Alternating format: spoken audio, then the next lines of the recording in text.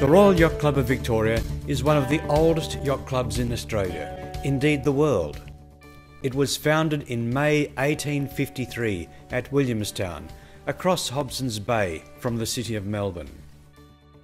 Though steeped in decades of yachting history and tradition, Royals, as it is less formally known, is a modern club whose members are united around their enthusiastically shared love of sailing as a sport and as a recreation.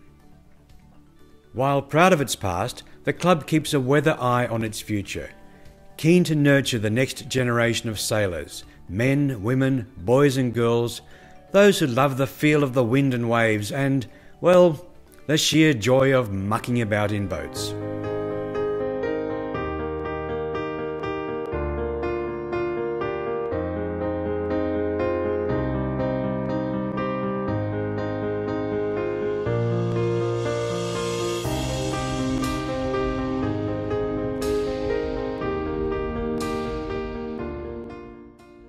Why did I start sailing? I just like the freedom of sailing, and so I always wanted to go faster than the boat next to me. I've done many miles ocean racing, and that includes four Sydney Hobarts. I just like being out on the water.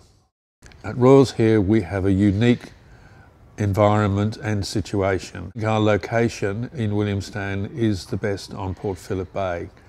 One of the strengths of Royals is the way we support our juniors and cadets.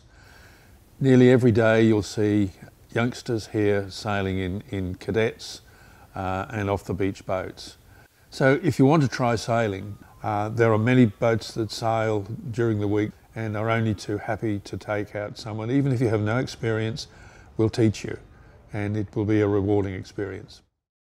I think the Yacht Club has a great sense of community and um, just a lot of people that are like a big family that are all happy to help anyone else and someone comes and works on your boat and you help someone else and Sailing has changed a lot over the years from when I first started sailing and we see a lot of more women owning boats and a lot more young women joining off the beach and uh, becoming uh, wonderful sailors um, and, and, and um, making a great contribution to the diversity um, and culture of sailing.